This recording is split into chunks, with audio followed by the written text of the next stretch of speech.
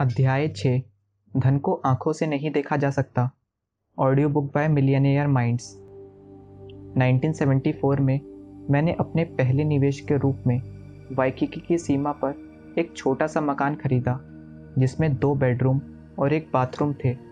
इस सुंदर मकान की कीमत 56,000 डॉलर थी। यह किराए पर उठाने के लिए आदर्श था और मैं जानता था कि यह जल्दी ही किराए पर उठ जाएगा। मैं बहुत रोमांचित होकर अपने अमीर डैडी के ऑफ़िस में गया ताकि उन्हें इस सौदे के बारे में बता सकूँ। उन्होंने दस्तावेजों पर सिरसिरी निगाह डाली और एक मिनट से भी कम समय में नज़र ऊपर उठाकर पूछा, तुम्हें हर महीने कितना नुकसान हो रहा है? मैंने जवाब दिया, लगभग सौ डॉलर प्रति माह। अमीर डैडी बोले, मूर्खों जैसी बातें मत करो। मैंने अभी आंकड़ों को ठीक से नहीं देखा है। परंतु इन दस्तावेजों के सरसरी तौर पर देखने भर से ही मैं बता सकता हूँ कि तुम्हें इससे ज़्यादा नुकसान होगा। तुम जानबूझकर ऐसा निवेश क्यों कर रहे हो, जिसमें तुम्हें नुकसान हो?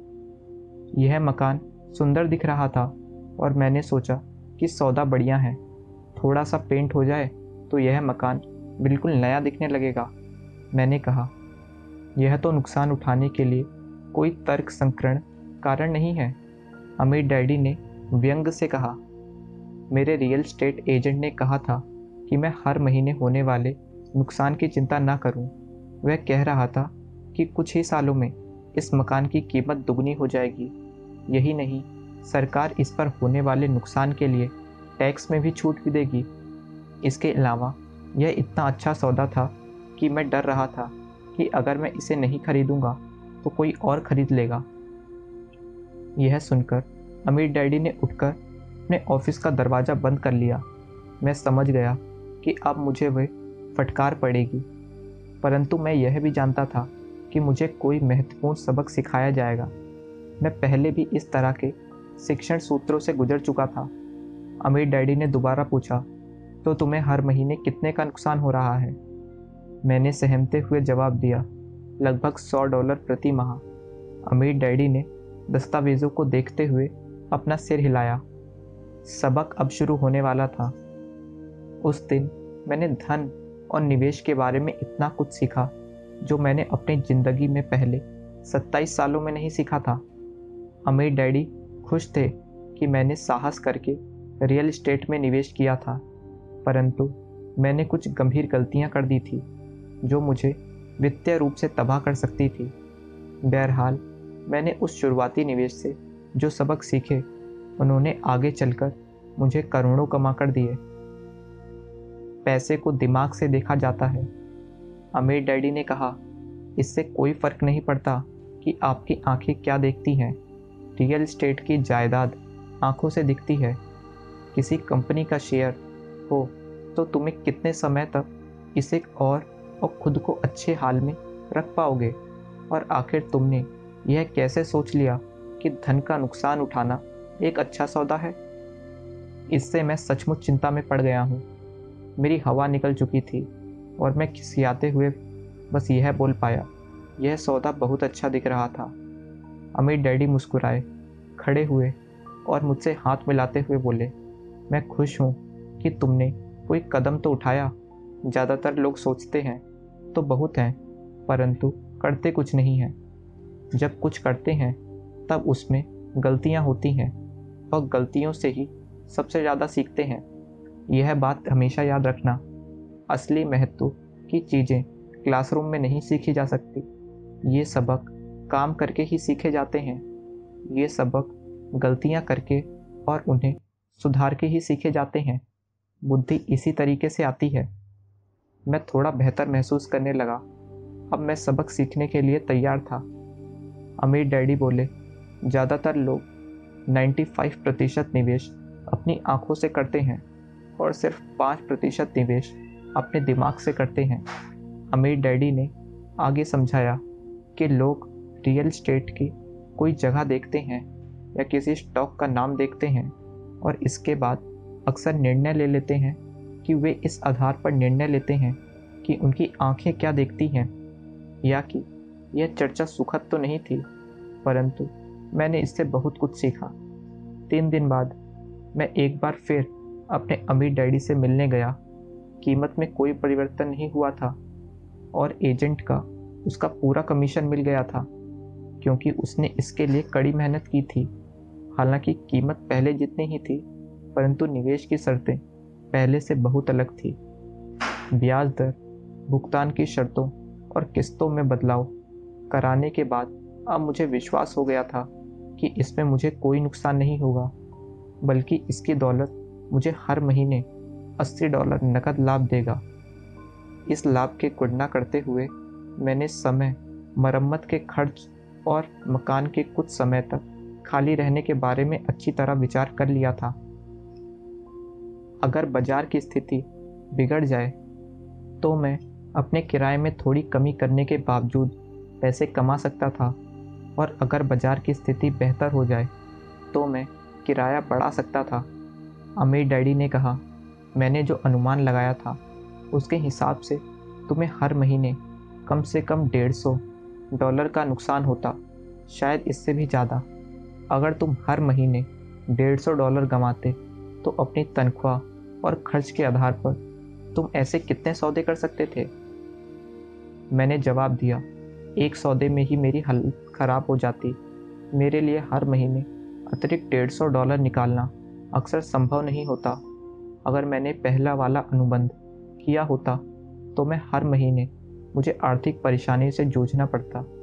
टैक्स में छूट मिलने के बाद भी इस निवेश की किस्त के भुगतान के लिए शायद मुझे कोई दूसरी नौकरी भी करनी पड़ती।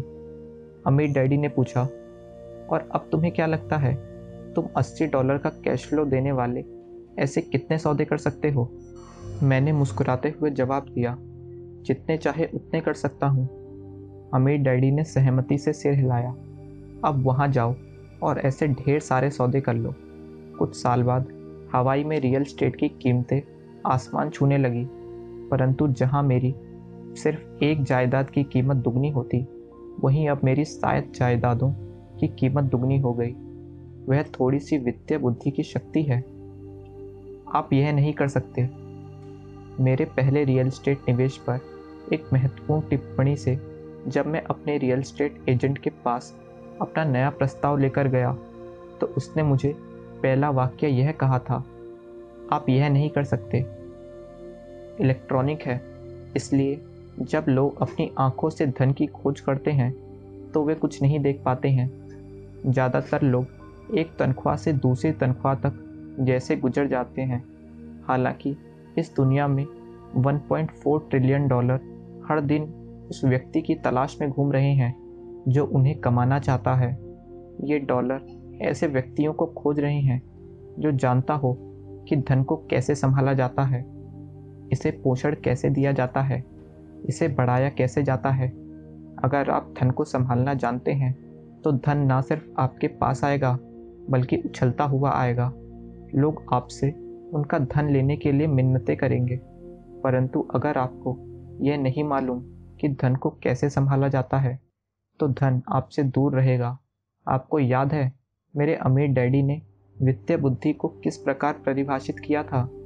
वित्तीय बुद्धि का संबंध इस बातों से उतना नहीं है कि आप कितना धन कमाते हैं, जितना इस बात से है कि आप कितना धन बनाए रखते हैं। आप अपने धन से कितनी कड़ी मेहनत करवाते हैं और आप इसे कितनी पीढ़ियों तक अपने पास रख पाते हैं। अंधों को अंधे राह दिखा रहे हैं।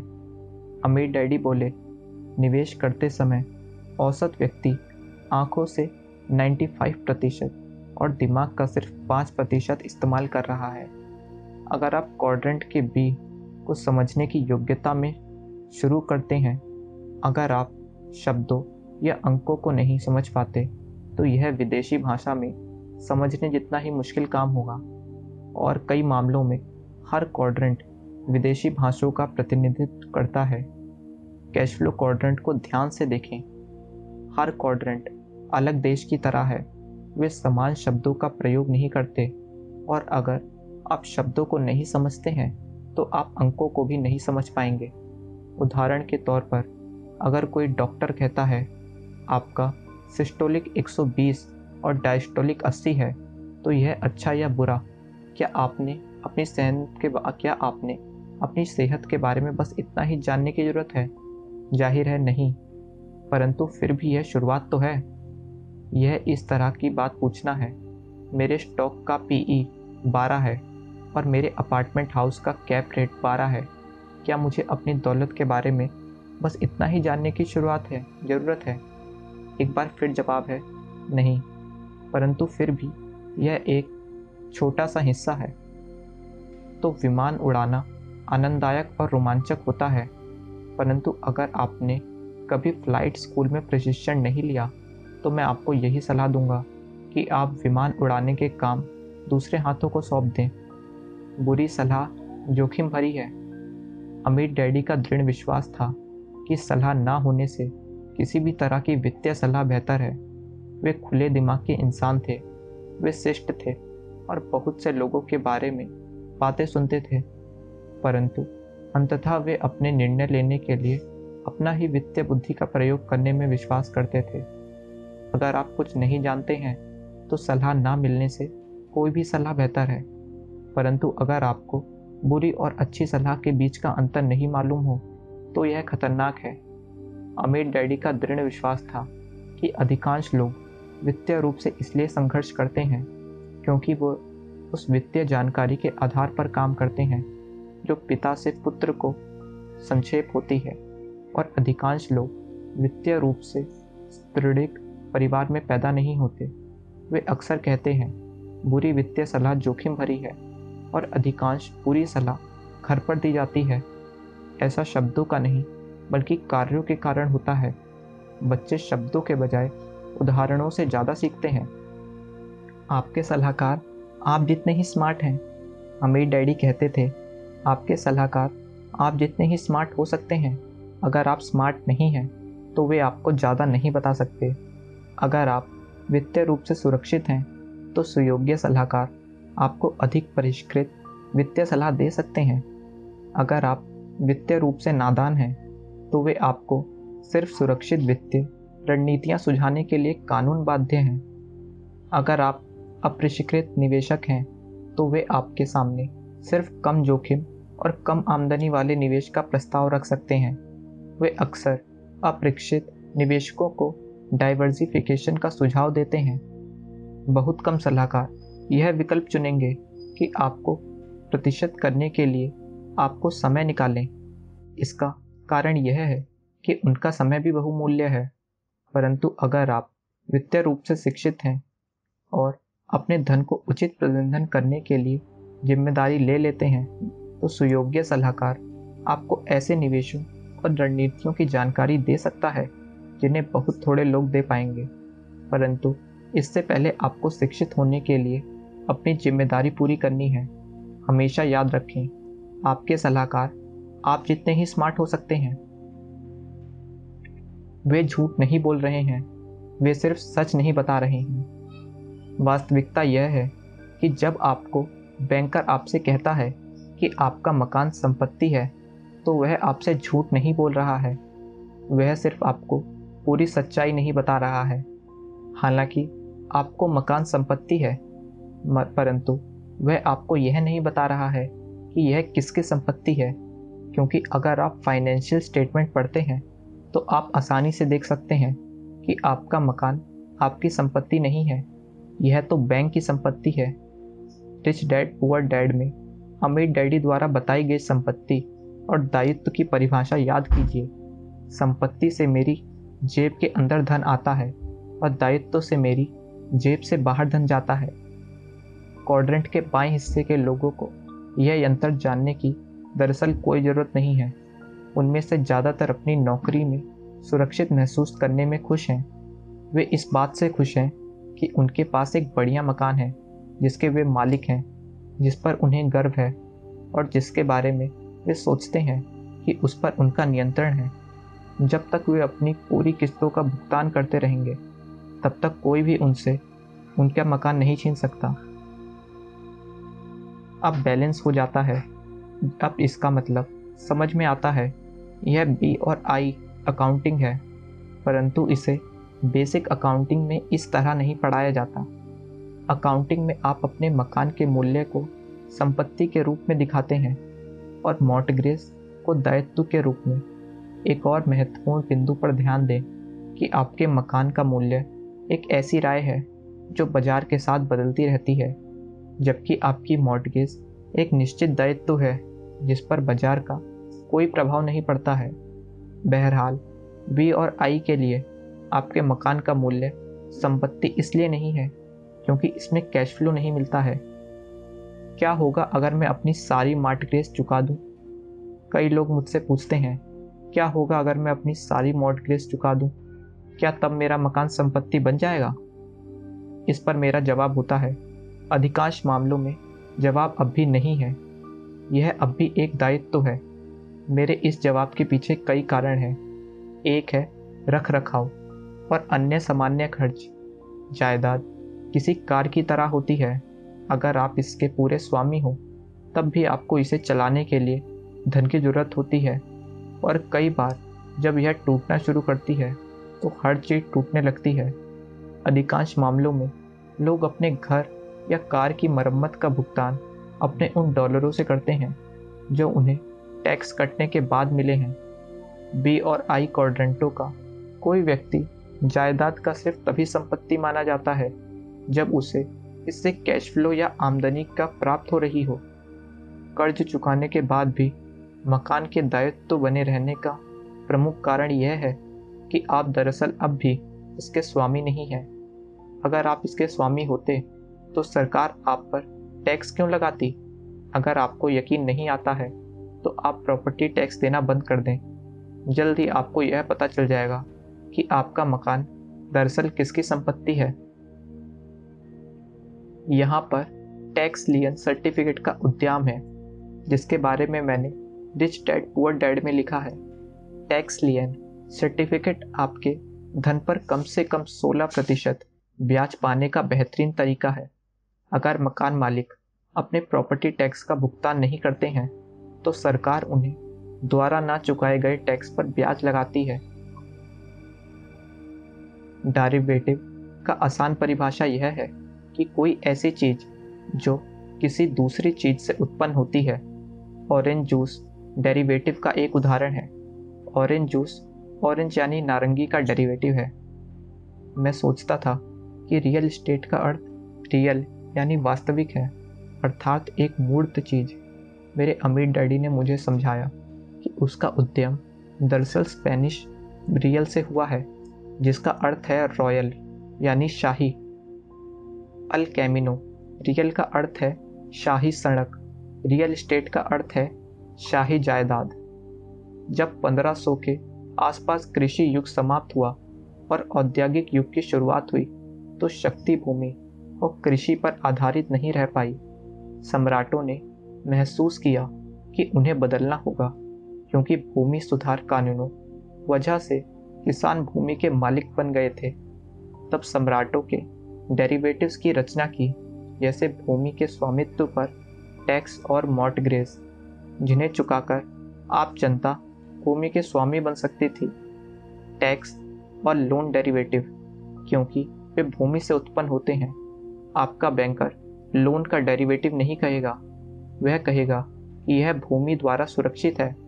अलग अलग शब्द, एक ही अर्थ। तो जब सम्राटों ने समझ लिया कि धन अब भूमि से नहीं, बल्कि लोन से लिया जाता है तो कर्ज यानी अस्सी हज़ार डॉलर को घटा दें।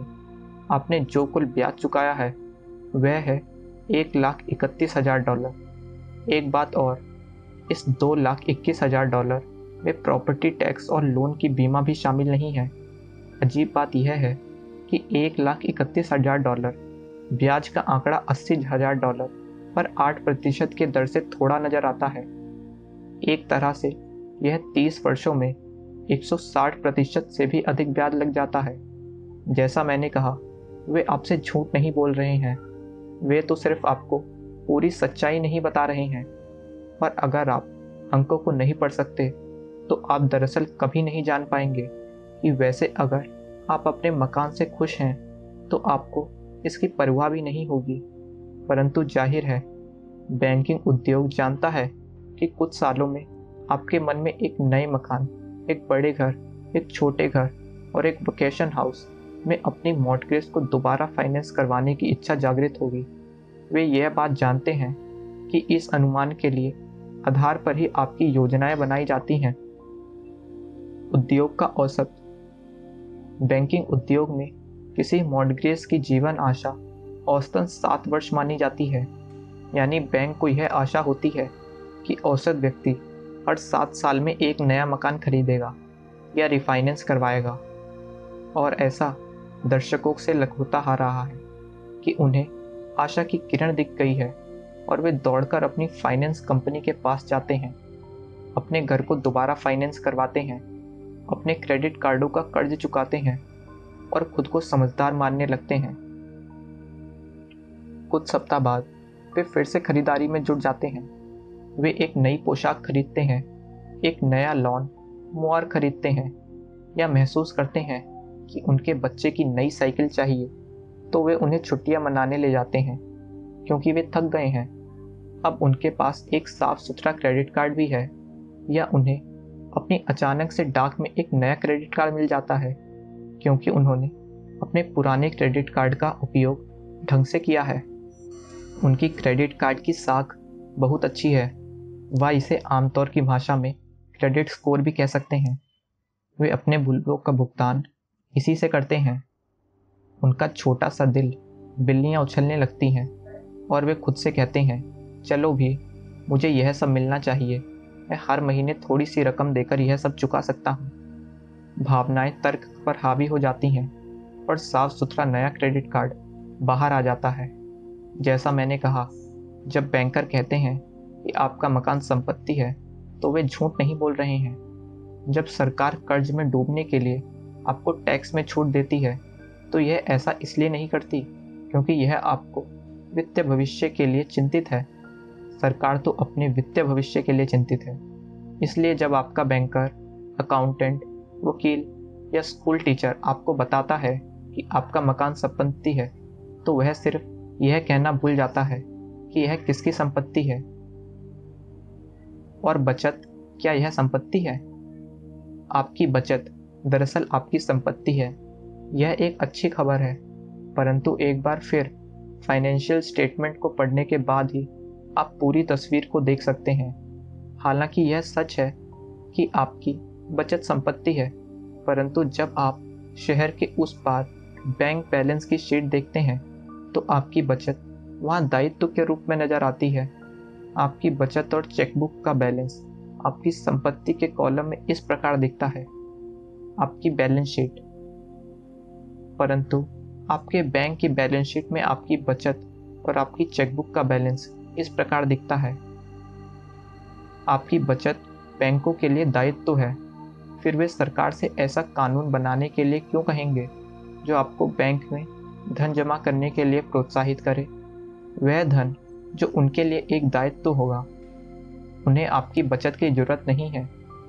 इसके अलावा, बैंकों में दरअसल आपकी बचत की ज़रूरत भी नहीं है। उन्हें अधिक डिपॉजिट की ज़रूरत नहीं है, क्योंकि वे धन को कम से कम दस गुना बढ़ा सकते हैं। अगर आप बैंक में एक डॉलर का नोट जमा करते हैं तो कानून बैंक दस डॉलर उधार दे सकता है, पर केंद्रीय बैंक द्वारा निर्धारित रिज़र्व लिमिट के आधार पर शायद बीस डॉलर तक भी। इसका मतलब यह है कि आपका एक डॉलर का नोट अचानक दस डॉलर या इससे अधिक हो जाता है। यह जादू है।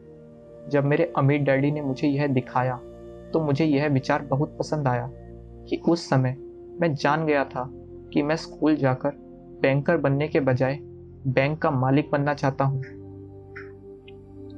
इसके अलावा बैंक आपको उस एक डॉलर पर सिर्फ़ पाँच प्रतिशत ब्याज देता है। ग्राहक के रूप में आप सुरक्षित अनुभव करते हैं, क्योंकि बैंक आपको धन पर कुछ ब्याज तो दे रहा है। बैंक इसे अच्छे ग्राहक संबंध के रूप में दिखाता है, क्योंकि अगर आप अपने उनकी बैंक में बचत खाता खोल रखा है तो आपको जब उधार की ज़रूरत होगी तो आप उन्हीं के पास आएँगे। वे चाहते हैं कि आप उनसे उधार लें, क्योंकि वे तब उधार दिए धन पर, क्योंकि तब वे उधार दिए गए धन पर आपसे नौ प्रतिशत या इससे ज़्यादा ब्याज ले सकते हैं। जहाँ आप अपने एक डॉलर पर पाँच प्रतिशत ब्याज कमाते हैं, वहीं बैंक उस डॉलर से 10 या 19 प्रतिशत ब्याज आपको वसूलता है। हाल ही में मुझे एक नया क्रेडिट कार्ड मिला, जिसमें 8.9 प्रतिशत ब्याज का विज्ञापन दिया गया था। परंतु अगर आप बारीक अक्षरों में लिखी कानूनी शब्दावली को समझते हो तो यह दरअसल 23 प्रतिशत था। कहने की ज़रूरत नहीं है कि मैंने उस क्रेडिट कार्ड के दो टुकड़े करके उसे वापस भिजवा दिया। उन्हें आपकी बचत वैसे भी मिल जाती है। बचत के लिए टैक्स छूट ना मिलने का एक और बहुत स्पष्ट कारण है। अगर आप अंकों को पढ़ सकते हैं और देख सकते हैं कि कैश फ्लो इस तरह हो रहा है तो आप देखेंगे कि उन्हें आपकी बचत वैसे भी मिल जाएगी। अपनी संपत्ति वाले कॉलम में आप जो धन बचा सकते हैं, वह आपके दायित्व वाले कॉलम में लोन पर ब्याज के रूप में जा रहा है और उनके संपत्ति वाले कॉलम को बढ़ा रहा है। यह कैश फ्लो पैटर्न इस तरह दिखता है। आपका फाइनेंशियल स्टेटमेंट इसीलिए बैंक नहीं चाहते कि सरकार आपको बचत के लिए टैक्स में छूट दे तो वैसे भी आपकी बचत ले लेंगे। कर्ज पर ब्याज के भुगतान के रूप में राजनेता इस व्यवस्था के साथ छेड़छाड़ नहीं करते हैं क्योंकि बैंकें बीमा कंपनियाँ, निर्माण उद्योग और ब्रोकरेज हाउसेस राजनीतिक चुनाव अभियानों और बहुत सा धन देते हैं और राजनेता इस खेल को अच्छी तरीके से निभाते हैं। खेल का नाम 1974 में मेरे अमीर डैडी इसलिए परेशान हो गए थे क्योंकि यह खेल मेरे खिलाफ खेला गया था और मैं यह बात नहीं जानता था। मैंने जब रियल स्टेट खरीदने में निवेश किया था, तब मैं हारने वाली स्थिति में था, परंतु मुझे यह यकीन दिलाया गया था कि मैं जीतने वाली स्थिति में हूँ। अमीर डैडी ने कहा, मुझे खुशी है कि तुम खेल के मैदान में दाखिल हुए, परंतु क्योंकि किसी ने भी तुम्हें यह कुछ नहीं बताया कि खेल के नियम क्या हैं? इसलिए तुम हारने वाली टीम में शामिल हो गए। अमीर डैडी ने फिर इस खेल की मूलभूत बातें स्पष्ट की। पूंजीवाद के इस खेल का नाम है। कौन किसका कर्जदार है? उन्होंने कहा कि अगर मैं इस खेल को समझा दूँ तो मैं बेहतर खिलाड़ी बन जाऊँगा। बजाय इस व्यक्ति के, जो इस खेल में बिल्कुल अनाड़ी है। अब जितने ज़्यादा लोगों को कर्जदार हैं आप उतने ही ज़्यादा गरीब हैं। अमीर डैडी हमेशा कहा करते थे, आप जितने ज़्यादा लोगों के कर्जदार हैं, आप उतने ही ज़्यादा गरीब हैं। और जितने ज़्यादा लोग आपके कर्जदार हैं, आप उतने ही ज़्यादा अमीर हैं। यही इस खेल का सार है। जैसा मैंने कहा, मैंने अपना दिमाग खुला रखने के लिए संघर्ष किया, इसलिए मैं खामोश रहा और उन्हें समझाने दिया। वे ऐसा दुर्भावना से नहीं कह रहे थे। वे तो सिर्फ़ उस खेल को समझा रहे थे। जिसे वे अच्छी तरह से समझते थे। हम सब किसी न किसी के कर्जदार होते हैं। समस्याएँ तब उत्पन्न होती हैं जब कर्ज संतुलन से बाहर चला जाता है। दुर्भाग्य से इस दुनिया के गरीब लोगों को इस खेल में इधर उधर दौड़ाया जाता है और वे अक्सर कर्ज में पूरी तरह डूब जाते हैं। यही गरीब देशों के बारे में भी सही है। दुनिया गरीबों, कमज़ोरों, वित्तीय रूप से अज्ञानियों को निचोड़ लेती है। अगर आप पर बहुत ज़्यादा कर्ज है तो दुनिया आपका सब कुछ ले लेती है। आपका समय, आपका काम, आपका मकान और आपका जीवन। एक बूढ़ी महिला ब्रेड खरीदने के लिए जर्मनी की मुद्रा, यानी मॉक्स से मरे हुए, मॉक्स से भरे हुए ठेले के धकाकर चला रही थी। जब उसने पीठ घुमाई तो किसी ने ठेला चुरा लिया और मूल्य रहित धन के ढेर को सड़क पर छोड़ दिया। इसीलिए अधिकांश धन आज अदेशित धन है, यानी ऐसा धन जो कि किसी मूर्त चीज़ें, जैसे सोने या चांदी में नहीं बदला जा सकता। धन तभी काम का है जब लोगों को सरकार में विश्वास है, जो इसके भुगतान को आश्वासन देती है। फिएट की अन्य परिभाषा है शंक्त संपन्न आदेश, जो पूर्ण सत्तावन व्यक्तियों या समूह द्वारा दिया जाता है। आज के अधिकांश वैश्विक अर्थव्यवस्था कर्ज और विश्वास पर आधारित है। जब तक हम सब एक दूसरे का हाथ थाम के रहेंगे और कोई भी मानवीय श्रृंखला को नहीं तोड़ेंगे, तब तक सब कुछ ठीक रहेगा। और मैं ठीक शब्द का असुरक्षित, न्यूरोटिक और भावुक अनुभव करने में संक्षिप्त रूप मानता हूँ। आपका कर्जदार कौन है? 1974 में जब मैं यह सीख रहा था कि 56,000 डॉलर के कॉन्डो या मकान कैसे खरीदे जाएँ, तो मेरे अमीर डैडी ने मुझे यह महत्वपूर्ण सबक सिखाया कि सौदे के अनुबंध की शब्दावली कैसी हो। इस पर मैंने कहा परंतु कई लोगों के लिए धन कोई खेल नहीं है। अमीर डैडी बोले यह सही है। अधिकांश लोगों के लिए यह ज़िंदा रहने का ज़रिया है। अधिकांश लोगों के लिए धन एक ऐसा खेल है जिसे खेलने के लिए उन्हें मजबूर किया जाता है। दुर्भाग्य से हम जितने सभ्य होते हैं, धन हमारे जीवन का उतना ही अनिवार्य हिस्सा बनता जाता है। अमीर डैडी ने कैश फ्लो खींचा। इसे कैसे? टेनिस कोर्ट या फुटबॉल के मैदान की तरह देखो। धन के खेल के खेलते समय तुम किस टीम में रहना चाहते हो? ई, एस, बी या आई? तुम मैदान के किस हिस्से के बारे में जानना चाहते हो? दाएँ हिस्से के बारे में? या बाएँ हिस्से के बारे में। मैंने क्वाड्रेंट के दाएँ हिस्से की तरफ़ इशारा किया। अगर आप कर्ज और जोखिम लेते हैं तो आपका लाभ होना चाहिए। अमीर डैडी ने कहा, इसलिए जब कोई आपसे कहता है कि 30 साल तक हर महीने डेढ़ सौ डॉलर का नुकसान उठाना एक अच्छा सौदा है, क्योंकि सरकार आपको इस नुकसान पर टैक्स में छूट देगी और उसे उम्मीद है कि रियल स्टेट की कीमत बढ़ जाएगी। तो आप उस सेल्स एजेंट पर भरोसा नहीं करते हैं और खेल के मैदान में नहीं उतरते हैं। आप इस मानसिकता को खेल नहीं खेल सकते। हालाँकि ये विचार सही साबित हो सकता है, परंतु क्वाड्रेंट के दाएँ हिस्से में खेल इस तरीके से नहीं खेला जाता। कोई आपसे यह कह रहा है कि आप कर्ज में उतरें, हर तरह का जोखिम लें और इसके लिए नुकसान भी उठाएँ। बाएँ हिस्से के लोग सोचते हैं कि यह एक अच्छा विचार है। परंतु दाएँ हिस्से के लोग ऐसा नहीं सोचते। मैं थोड़ा हिल गया था। अमीर डैडी ने कहा इस पर मेरे नज़रिए से देखो। तुम आसमान में बने इस कॉन्डो के 56,000 डॉलर में खरीदना चाहते हो। तुम कर्ज लेने के लिए हस्ताक्षर कर रहे हो और जोखिम ले रहे हो। किराएदार को वहाँ रहने के लिए जितना किराया देना चाहिए वह उससे कम किराया देता है। इस तरह से देखा जाए तो तुम उस व्यक्ति को वहाँ रहने के लिए सब्सिडी दे रहे हो। क्या तुम्हें इसमें समझदारी दिखती है? मैंने सिर हिलाकर कहा, नहीं। अमीर डैडी बोले, खेल को खेलने का यह मेरा तरीका है। आगे से अगर तुम कर्ज और जोखिम लेते हो तो तुम्हें लाभ होना चाहिए। समझ गए? मैंने अपना सर सहमति से हिलाया। अमीर डैडी ने कहा, धन कमाना कॉमन सेंस या सामान्य ज्ञान है। यह रॉकेट विज्ञान जितना मुश्किल नहीं है। परंतु दुर्भाग्य से जब धन कमाने की बात आती है तो सामान्य ज्ञान सामान्य नहीं होता। बैंकर आपसे कहता है कि आप कर्ज लें। वह आपसे कहता है कि सरकार आपको उस चीज़ के लिए टैक्स में छूट देगी, जो दरअसल मूलभूत आर्थिक समझदारी भी नहीं है।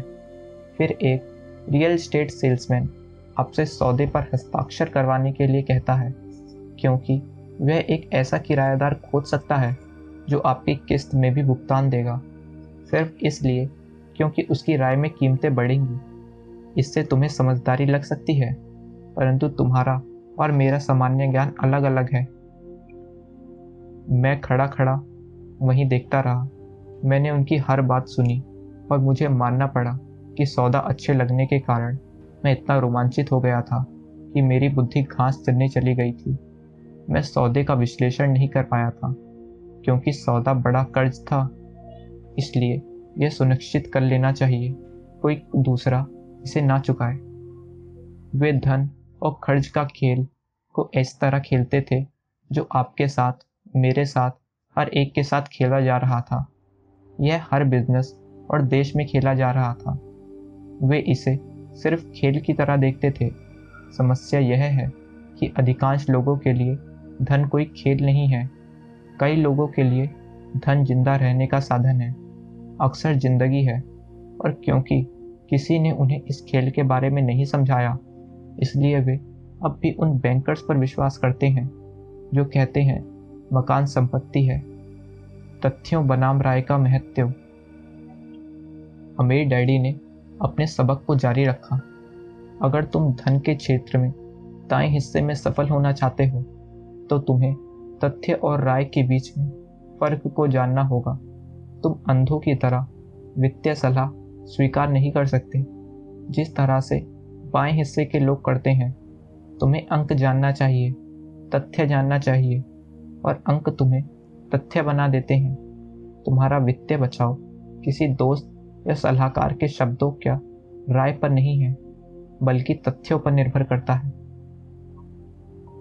मैंने पूछा मैं नहीं समझा, इससे क्या फ़र्क पड़ता है कि कोई चीज़ तथ्य या राय है? क्या आप एक ऐसी चीज़ को दूसरी चीज़ से बेहतर हैं?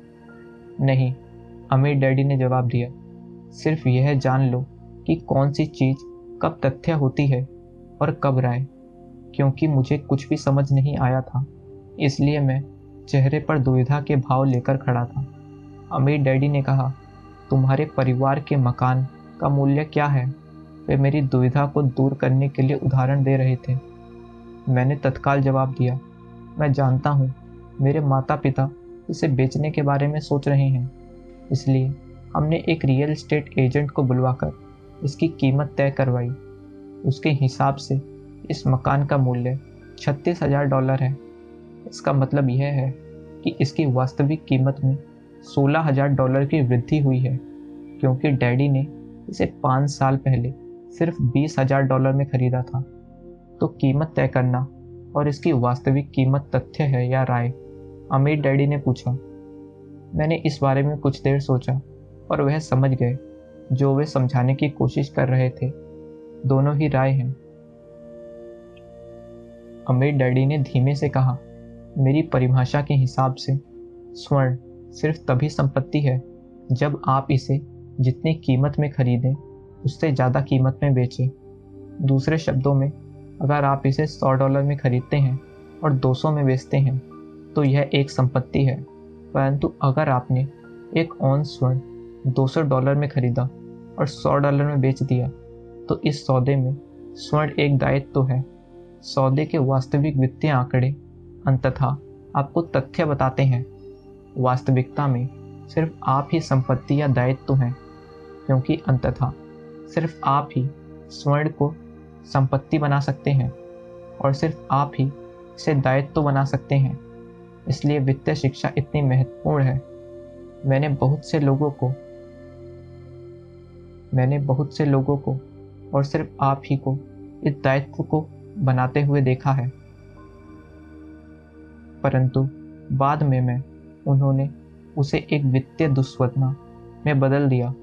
कई लोग अपने व्यक्तिगत जीवन में भी यही करते हैं।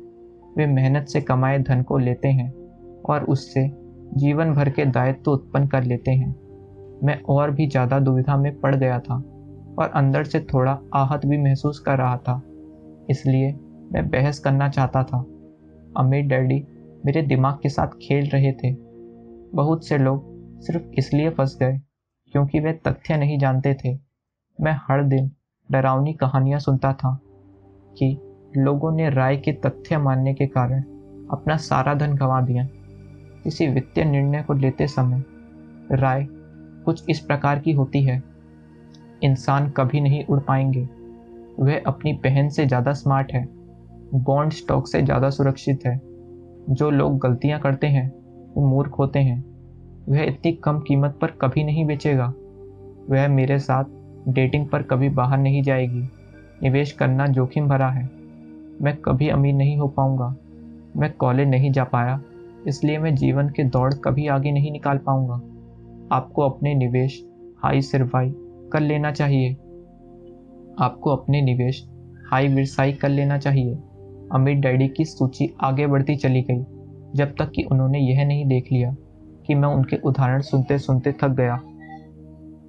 ठीक है मैंने आखिरकार कहा, मैंने पर्याप्त सुन लिया है कि आप क्या कहना चाहते हैं।